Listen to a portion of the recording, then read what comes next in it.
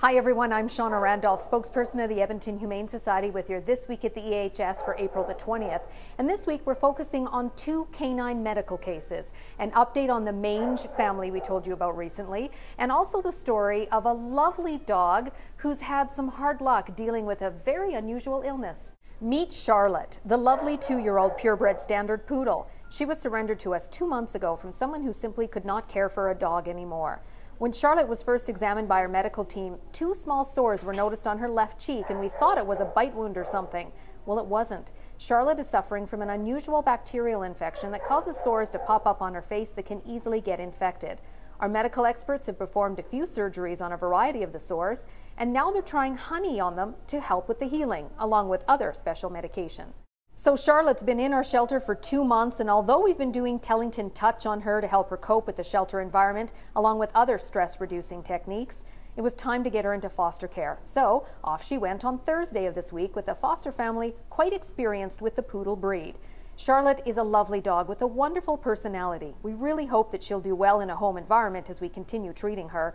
Of course, we'll keep you posted on this lovely girl. And of course, there's our Mange family, the ones that you met last week. This mom and her three pups came to us at the beginning of April in horrible shape, all suffering from a severe case of mange. That's a highly contagious skin disease caused by microscopic mites that burrow down into their skin. After just a couple of weeks, they're almost all cleared up, but still need a bit more treatment, although they are no longer contagious. They'll all head into foster care very soon, and their socialization will continue. Prognosis looks quite good for all of them since they've come such a long way in so little time. If all goes well, they should be up for adoption soon.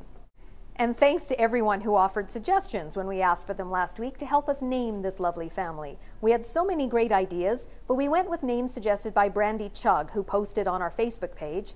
Shakina for the mom, Serial for the girl, Zuriel for one boy, and Elijah for the other boy, all apparently angel names. We went with that since many people have commented that our medical and behavior staff members are angels with all that they're doing with this family.